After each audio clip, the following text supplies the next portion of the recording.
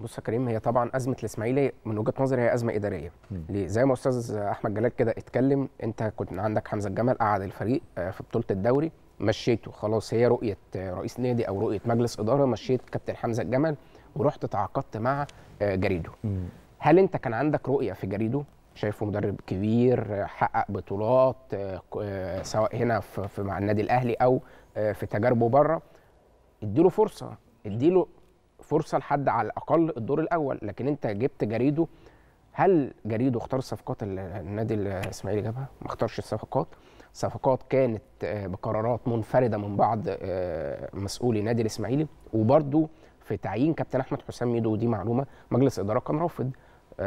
مهندس يحيى الكومي رئيس نادي الإسماعيلي انفرد بالقرار واتكلم مع ميدو وانت مدير فني وانت موجود آه يعني. مجلس إدارة الإسماعيلي كان رافض اللي أنا عارفه اللي. أنا عارفه إن كان في حوالي ثلاث أو أربع أعضاء مجلس. إدارة في الإسماعيلي رافضين تعيين كابتن أحمد حسام ميدو آه، مدير فني كويس أو مدير فني آه، غير موفق دي آه، قصة على جنب لكن فكرة مجلس إدارة إن أنا آجي أما يجي أعضاء مجلس إدارة يرشحوا لك عبد الحميد بسيوني ويرشحوا لك خالد جلال مع حفظ الألقاب ويقول لك اثنين مديرين فنيين كبار آه، حققوا نجاحات في الدوري.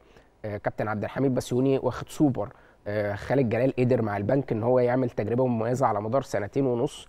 فانت لما يجي اعضاء مجلس اداره ويحصل مكالمات منهم الكابتن خالد جلال اتكلموا معاه direct والمهندس يحيى الكومي اتكلم مع الكابتن خالد جلال وفي اتفاق وفجأة انت تطلع تقول أنا كلمت ميدو وميدو مدير فني وده قرار نهائي وأنا قررت رغم رفض اعضاء لا يبقى هنا معلش نقطة أول آه، نقطة من أول السطر.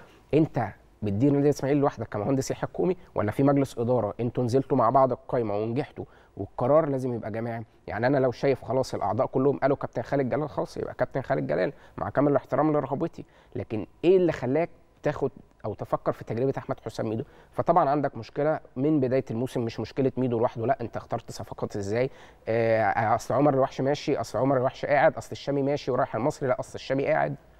القرارات كلها مش مدروسة بالمرة. صحيح. الاستقالة أنا وجهة نظري آه أزمة الإسماعيلي إدارية سواء هم رجعوا في الاستقالة وكملوا أو هم غالبا آه، هيرجعوا عشان حسب ما زمايلي في الإعداد بيقولوا لي دلوقتي إن بكرة في اجتماع بين المهندس يحيى الكومي ووزير الشباب والرياضة الدكتور أشرف صبحي الساعة 7 مساء عشان يشوفوا الوضع عامل. دكتور أشرف صبحي والسيد المحافظ لازم يكون في تدخل ولازم يكون في تكاتف من نجوم الكرة في النادي الإسماعيلي لأن موقف الإسماعيلي بصراحة يحزن كل مشجع آه، للكرة المصرية